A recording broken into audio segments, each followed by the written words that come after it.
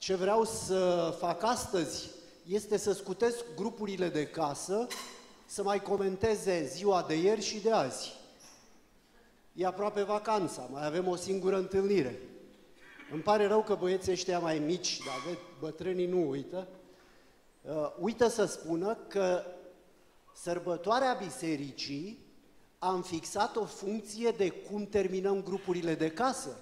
Deci o, o sărbătoare la fel de mare este că sărbătorim grupurile de casă și activitatea de un an din ăsta de studiu biblic împreună, îl sărbătorim, îl sărbătorim eu de la Târgu Mureș, noastră de aici. Îmi pare tare rău că nu o să fiu. Mai ales că, și acum însărcinez pe Cătălin care se va ocupa de organizare, rugați-vă pentru el, că el trebuie să umble cu ce v-a spus, surprizele. Uh, are mult de alergat săracul. Uh, aș vrea să-l însărcinez și cu ceva la care țin mult. Există un grup de casă care săptămână de săptămână s-a întâlnit. N-am ratat nicio întâlnire. Dacă vrei să inviți pe scenă, poți să o faci. Nu știu, faceți. Eu nu sunt aici, îmi pare rău pe de parte, dar pe de altă parte e în regulă că avem o sărbătoare în familie.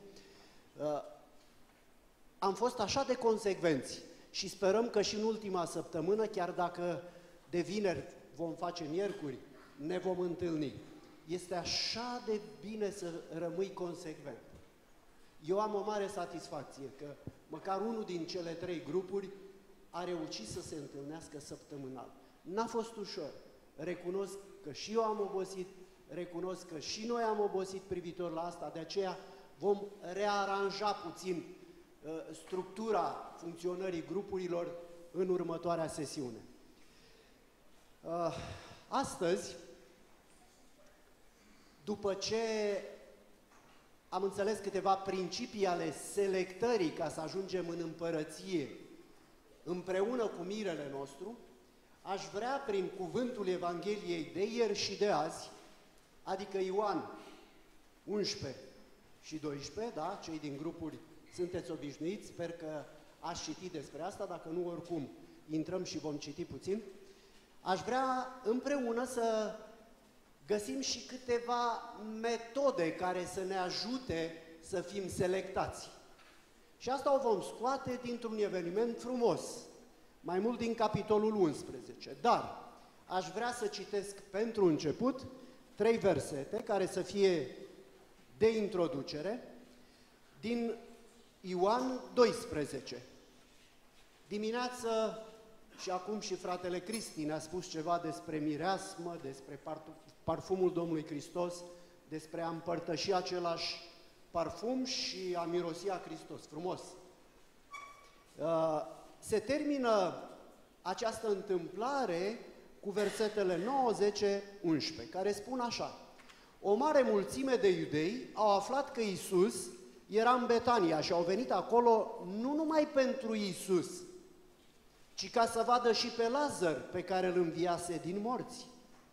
Preoții cei mai de seamă au hotărât să omoare și pe Lazar, căci din pricina lui mulți iudei plecau de la ei și credeau în Isus. Interesant, nu, nu numai din cauza Domnului Isus se credea în El, nu numai pentru ceea ce făcea Domnul Isus. Iată că și un prieten al Domnului Isus Hristos poate fi un bun martor ca oamenii să se întoarcă la Hristos. Și astăzi mă gândesc că putem învăța cum să devenim ucenici mai buni, ucenici care să-L arate în viața lor pe Domnul Hristos.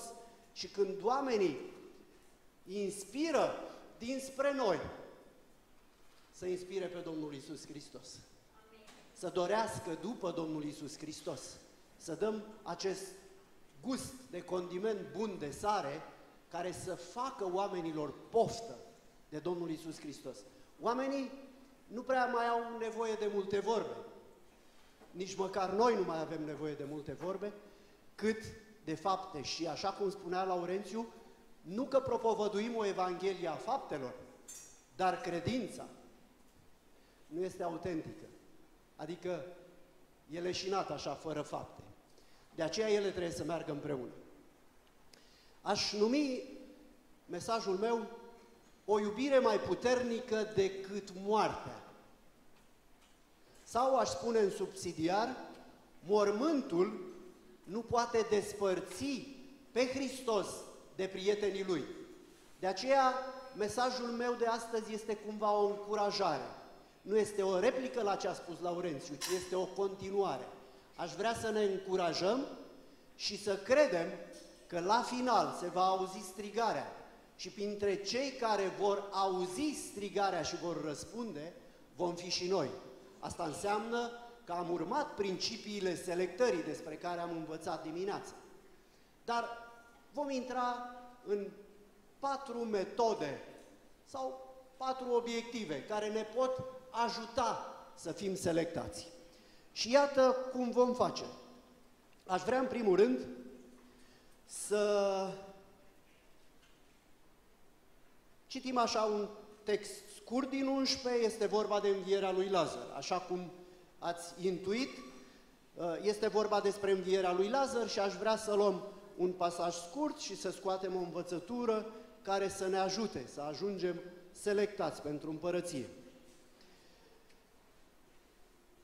Voi citi de la 1 la 8.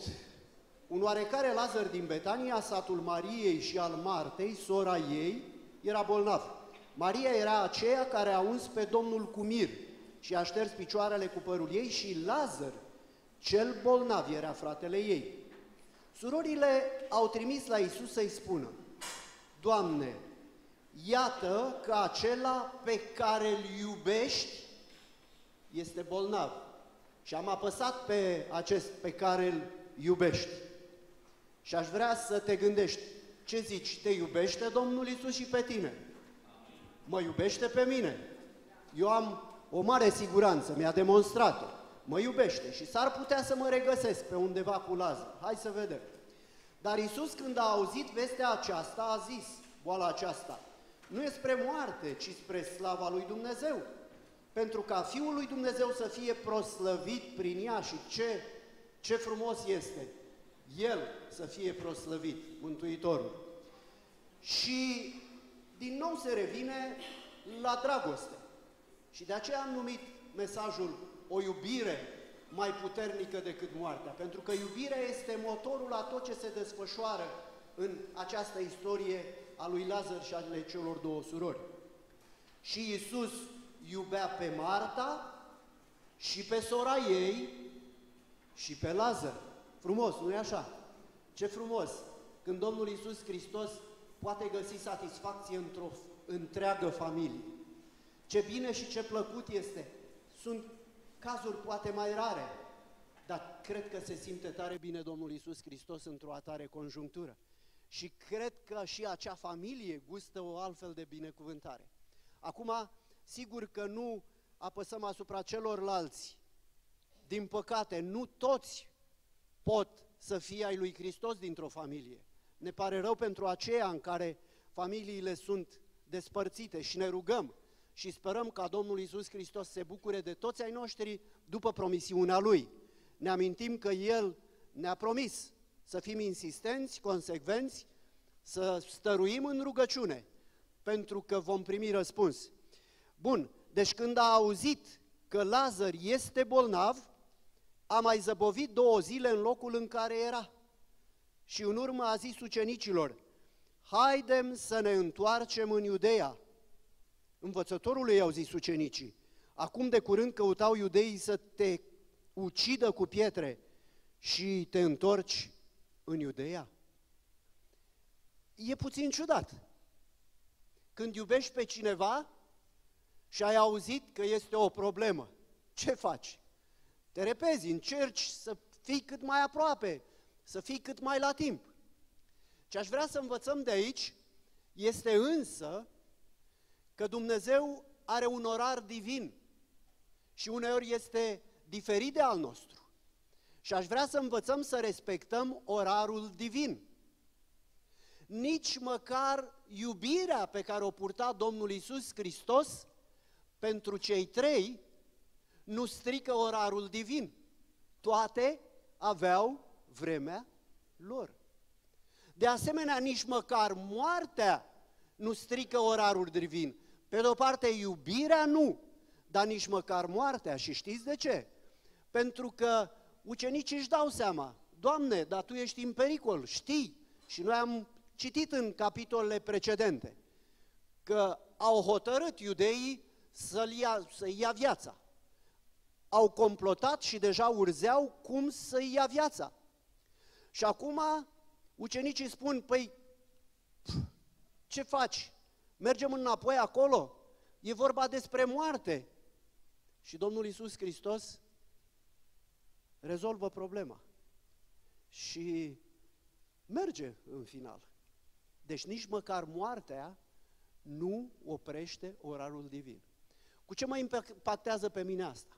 Dacă nici iubirea și nici moartea nu pot întoarce ceasul lui Dumnezeu, ei bine, aș vrea să învățăm următorul lucru. Și poate fi o aplicație pentru mulți dintre noi. De multe ori aducem înaintea Domnului rugăciuni bune, rugăciuni stăruitoare, rugăciuni care însă nu primesc răspuns. E ciudat că Domnul Iisus Hristos amână, cu toată dragostea pe care o purta, amână răspunsul. În mod normal trebuia, hai, haidem repede la Lazar. Dar, zicea, am mai zăbovit două zile. Este un ceas al cerului care nu se confundă de multe ori cu ceasul nostru. De aceea, dacă cumva aveți o problemă cu care ați venit înaintea lui Dumnezeu și această problemă încă nu este rezolvată, nu disperați. Este posibil ca Dumnezeu să vrea să ne învețe o lecție. Câți dintre noi nu suntem lipsiți de răbdare? Și răbdarea este o virtute mare. Avem nevoie de răbdare. Poate că Domnul vrea să mă învețe răbdarea. Poate că are un răspuns și o dovedește de multe ori. Poate că are un răspuns mai bun decât la cel la care mă așteptam. Și este un alt termen, și este o altă judecată divină, un alt ceas divin. De aceea, vă rog, să nu uităm, să învățăm această lecție și să fie una în practica de zi cu zi. Acum vreau, acum să se întâmple. Gândește-te, ia legătura cu Dumnezeu și vezi care e timpul lui. Pentru că la Dumnezeu toate lucrurile au vremea lor. Orarul divin nu-l poate perturba nici dragostea și nici măcar moartea, pentru că și moartea este scrisă și are vremea ei. Iubirea are vremea ei și moartea își are vremea ei. Și asta o înțelegem de aici, din acest context. Facem un pas mai departe și mai citim, sărim puțin și m-aș duce de la 20 la 27. Și intrăm în următorul punct al predicii. Când a auzit Marta că vine Isus, i-a ieșit înainte, iar Maria ședea în casă. Marta a zis lui Isus, Doamne, dacă ai fi fost aici, n-ar fi murit fratele meu. Dar și acum știu că orice vei cere de la Dumnezeu, îți va da Dumnezeu. Iisus i-a zis, fratele tău va învia. Știu, i-a răspuns Marta.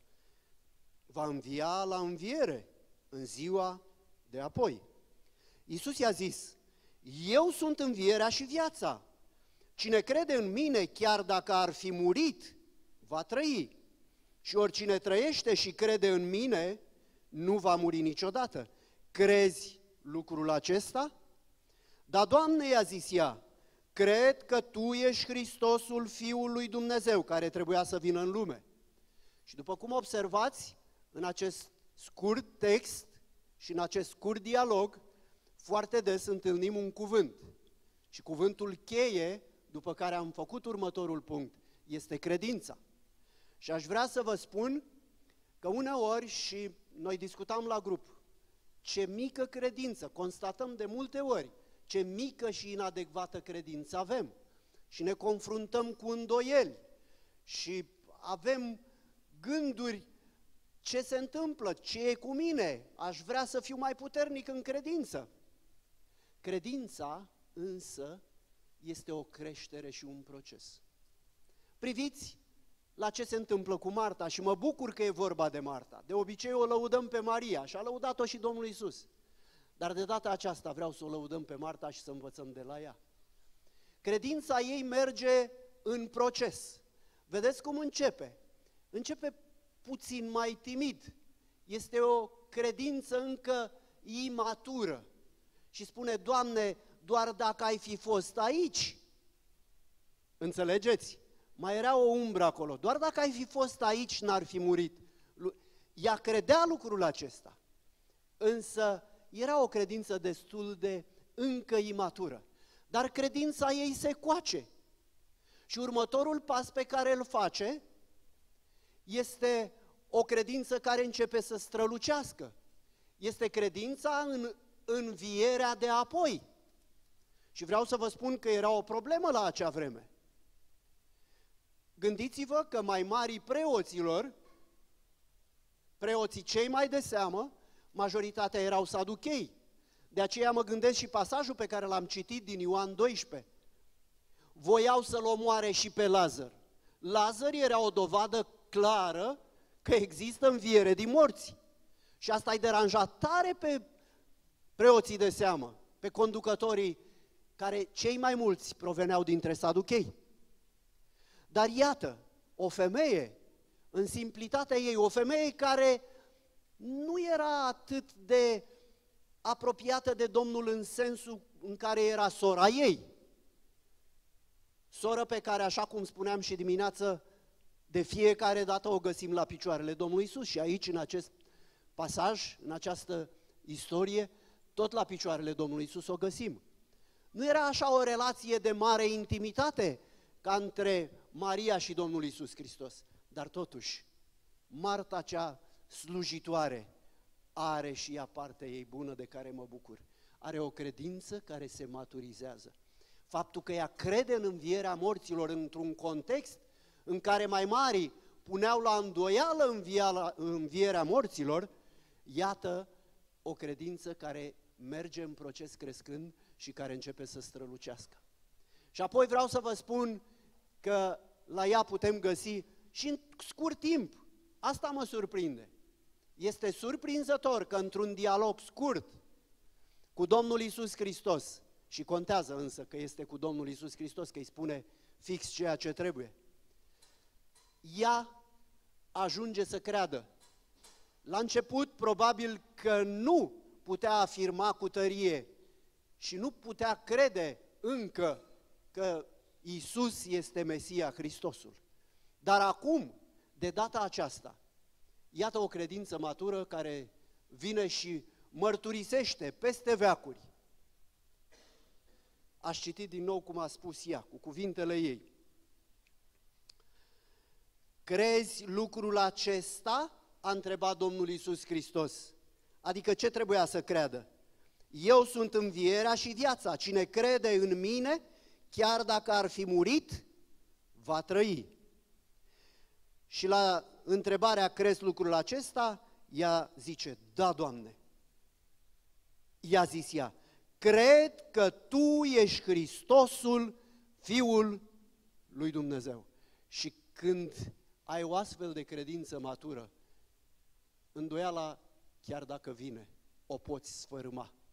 Pentru că tu ai un Hristos viu, un Hristos atotputernic, un Hristos Dumnezeu care poate face orice pentru tine și în dreptul tău, care te va învia și când se va auzi glasul, vei ști să răspunzi prezent. Pentru că oile mele, spune Domnul Isus Hristos, cunosc glasul meu, dar nu vreau să anticipez pentru că este un punct și despre lucrul acesta. Bun, deci, trebuie să învățăm să respectăm orarul divin, de asemenea, trebuie să învățăm că a noastră credință este în proces de maturizare. Cu cât stai mai aproape de Isus, cu cât vorbești mai mult, cu cât dialoghezi mai mult cu El și asta se poate face cel mai mult prin cuvânt. Știm bine lucrul acesta pentru că la început era cuvântul și cuvântul cine era? Și cuvântul era Dumnezeu, deci Hristos, cuvântul, are ce să ne spună, are cum să ne convingă și să ne maturizeze în credința noastră. O credință matură va înțelege că trebuie să acționeze, trebuie să meargă mai departe. Și în spiritul acțiunii, haideți să trecem la următorul pasaj, de la 32 aș citi, și zice așa, Maria, când a ajuns unde era Isus și l-a văzut, s-a aruncat la picioarele lui și a zis, Doamne, dacă ai fi fost aici, n-ar fi murit fratele meu. Este fix aceeași gândire și îmi place că cele două surori gândesc la fel. Așa începe și Maria. Dar am amintit asta mai mult să se vadă că ele semănau destul de bine, erau credincioase Domnului, se încredeau în Domnul. Iisus Acum intrăm, de fapt, în punctul al treilea. Iisus, când a văzut-o plângând pe ea și pe iudeii care veniseră cu ea, s-a înfiorat în Duhul lui și s-a tulburat și a zis, unde l-a spus? Doamne, i-au răspuns ei, vino și vezi. Și cel mai scurt verset și pregnant, puternic verset din Biblie este acesta. Iisus plângea. Atunci ideii au zis, iată cât îl iubea de mult. Și unii din ei au zis, el care a deschis ochii orbului nu putea face ca nici omul acesta să nu moară. Iisus a înfiorat din nou în sine și s-a dus la mormânt. Mormântul era o peșteră, la intrarea căreia era așezată o piatră. Dați piatra la o parte, a zis Iisus. Marta, sora mortului, a zis, Doamne, miroase greu căci este mort de patru zile. Iisus i-a zis, nu ți-am spus că dacă vei crede, vei vedea slava lui Dumnezeu? Au luat doar piatra, au luat dar piatra din locul unde zăcea mortul. Și Iisus a ridicat ochii în sus și a zis, Tată, îți mulțumesc că m-ai ascultat. Știam că totdeauna mă asculți, dar vorbesc astfel pentru norodul care stă în prejur ca să creadă că tu m-ai trimis. Și apoi m-aș duce la 44b, Iisus le-a zis, deslegați-l și lăsați-l să meargă. Și mă opresc cu cititul aici. Și aici aș vrea să trec la punctul 3 pe care l-am numit lucrare în colaborare. Da, suntem chemați să lucrăm, este bun îndemnul să facem fapte bune, dar ele vor avea valoare dacă sunt în voia Domnului Hristos, în numele Domnului Hristos, identificându-te cu inima Domnului Isus Hristos, ascultând de vocea Lui și de poruncile Lui. Eu vă voi numi, vă numesc prietenii mei, dacă faceți ceea ce vă poruncesc. Și ce face de data aceasta? Mai întâi aș vrea să ne gândim așa că Domnul Iisus Hristos, și asta este o mângâiere, împărtășește durerile noastre. Ați fost atenți. Este așa de puternic să se înfioreze în Duhul lui de două ori la rând și să plângă. De trei ori a plâns Domnul Iisus Hristos. Iar acum plânge de dragul prietenului lui. Și vreau să te încurajez. Dacă ești prieten al Domnului Isus Hristos, când treci prin necaz, prin durere, vreau să spun că Domnul Isus Hristos se înfioară în sine, pentru că și El cunoaște durerea și suferința. El știe prin ce treci și se înfioară în Duhul Lui. A plâns și mai plânge încă pentru mine și situațiile mele grele, grave. Și aici aș mai spune ceva. Am întâlnit creștini evanghelici care spun cum să plângi la mormântare. Hristos a plâns la mormântare. Lăsați-i pe oameni să plângă. Și când e de plâns, să plângem cu cei ce plâng. Nu sfidați durerea celorlalți spunând că noi avem și suntem și stai așa că n-ai ajuns acolo. Plângi cu cei ce plâng, pentru că Isus a plâns când a văzut durerea. Să zicem că este o parte a mângâierii și acum o parte a colaborării. Da, suntem chemați să facem lucrare, lucrare în colaborare. Și iată ce spune Domnul Isus. Eu îmi fac partea și așa cum spunea și Cristi și a spus și Laur dimineață, voi trebuie să vă faceți partea. Dați voi piatra la o parte. Și acum, frați și surori, câte pietre reci zac pe sufletele oamenilor? Câte pietre apasă pe inimile celor cu care te întâlnești? La serviciu sau în familie? Știi care e menirea? Va face Domnul Iisus Hristos tot ce este mai important. Dar fă și tu partea. Dă piatra la o parte. Și când vezi pe un om înfășurat în lanțurile, în fășiile păcatului, ale morții, dezlegați-l, spune Domnul Isus Hristos. Desfaceți-i legăturile. Sunt atâția oameni în jurul nostru legați de păcat. Sunt atâția dintre noi care uneori sunt înfășurați, prinși în capcană. Nu e nimic surprinzător în asta. Nu suntem super oameni. Încă și noi mai putem uneori să fim prinși de anumite cătușe, de anumite legături ale trecutului. Și câtă nevoie au oamenii ăștia să-i ajutăm. Poate printr-o rugăciune, poate printr-un zâmbet, printr-o îmbrățișare, printr-o strângere de mână, printr-o privire mai de apropiere, de încurajare, nu așa rece, că uneori mă uit în anumiți ochi. Mi-am adus aminte de... Am discutat la grup despre vindecarea orbului din naștere. Și m-am gândit așa, după ce se întâmplă minunea, se spune că cei care erau apropiați de-ai lui, ai orbului, l-au privit și unii dintre ei nu-l mai recunoșteau. Ce se întâmplase oare? Și mi-am dat seama cât de mult schimbă fizionomia feței ochii. V-ați gândit? Una e să privești niște ochelari mați și alta e să-ți văd ochii. În ei pot să citesc. În ei poți să citești. În ochii mei poți să citești. Ce mult înseamnă o privire drăgăstoasă o privire de frate. Să-i spui din ochi, vom fi în cer împreună. Să-i spui din ochi, te apreciez. Îmi dau seama că ești valoros. În ochi îți va citi. Mă credeți? Ochii vorbesc. Bun. Haideți să lucrăm în colaborare cu Domnul Hristos. El face partea grea a lucrurilor. Nu ne cere mare lucru. Nu e mare lucru să îmbrățișezi pe cineva, credeți-mă. Eu care sunt un sanguinic, o spun mai ușor, dar poate că alții mai greu. Laurențiu îmi spune mereu, mă, suntem diferiți, mai atrage-mi atenția, mai...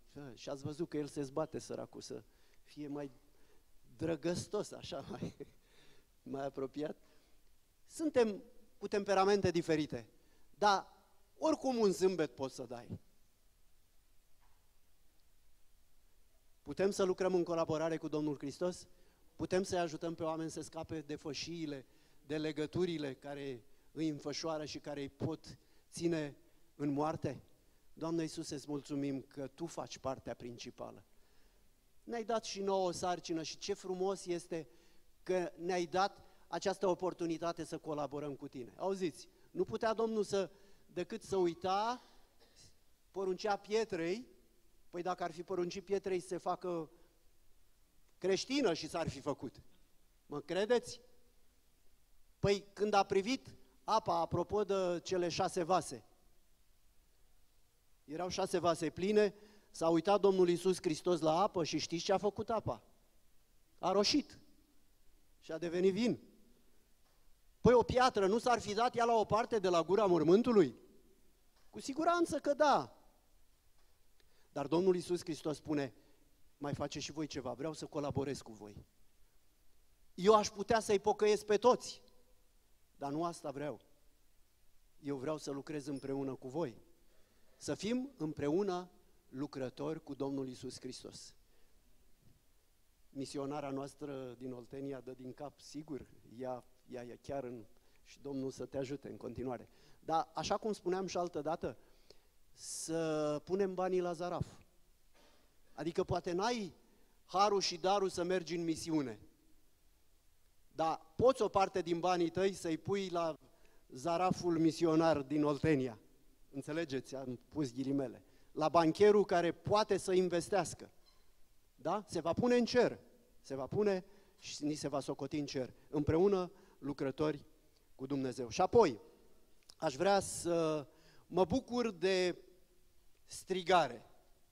Ultimul punct este și în legătură cu 1 Tesaloniceni 4, te rog frumos, ajută-mă să nu mai răsfoiesc eu, 1 Tesaloniceni 4, 15 la 18, Georgica, sau nu tu?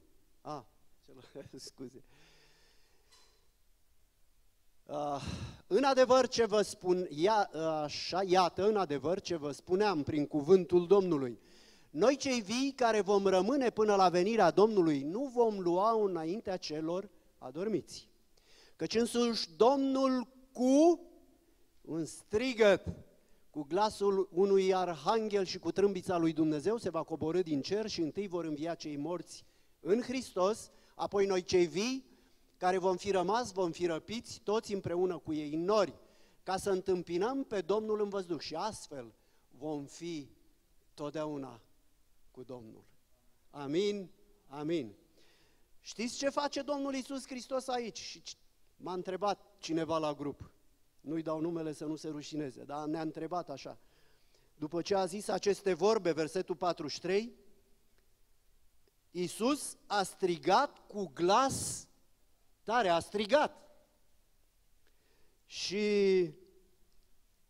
am citit undeva ceva foarte interesant. Dacă Domnul Iisus Hristos n-ar fi strigat, Lazare, vino afară, la acel strigăt, toți morții ar fi înviat. Pentru că este același strigăt. Mi s-a făcut pielea pe mine și abia aștept. Abia aștept să aud strigarea. Nu știu cât vă doriți asta, dar eu aștept glasul Arhanghelului, al Domnului Isus Hristos care va striga, veniți, binecuvântați Tatălui meu, de moșteniți împărăția. Amin? O, Doamne, fă-ne sensibil la glasul Tău. Se va auzi o strigare. Vino! Poate că nu vom prinde acel moment în care să nu mai gustăm moartea. Vor fi unii onorați în felul ăsta. Vor trece de la viață la viață. Nu vor mai gusta moartea. Dar sunt și unii dintre aceia care vor trebui să audă glasul. Poate nu vom, dar totuși, vreau să vă spun că la capăt de drum, aș vrea să auzim cu toții, veniți, binecuvântații Tatălui meu. Ați fost credincioși în puține lucruri, apropo de dimineață. Intrați, intră în bucuria stăpânului tău. Doamne, ajută-ne. Știți care e necazul? Necazul e că se termină, uite așa, capitolul, nu, pasajul din capitolul 11, versetele 45-46 spun, Mulți din iudeii care venise la Maria, când au văzut ce a făcut Isus, au crezut în El. Dar, și mereu există un dar și îmi pare așa de rău că există un dar. Dar unii din ei s-au dus la farisei și le-au spus ce făcuse Isus. Ce făceau ăștia? Îl vindeau. Pe nimic, că n-au câștigat nimic. Atenție! Unii au crezut, unii îl vând pe nimic. Unde mă postez? Unde mă aflu? Suntem într-un proces de selecție, cum ni s-a predicat de dimineață, avem și câteva mijloace pe care putem să ne ușurăm selectarea. Și asta poate fi așa, înțelegând că există un orar divin, respectă-l, încadrează-te în orarul divin. Înțelegând că și credința este un proces și este nevoie să ne maturizăm. Înțelegând că lucrare se face în colaborare cu Domnul Isus Hristos. Suntem chemați în lucrare, dar în colaborare. Și de asemenea, să ne încurajăm pentru că la capăt de drum se va auzi strigarea. Veniți, binecuvântații Tatălui meu. Iată, vine mirele. Haideți să ieșim în întâmpinare, făcând ceea ce El ne-a învățat și toate astea prin Duhul Sfânt. Amin.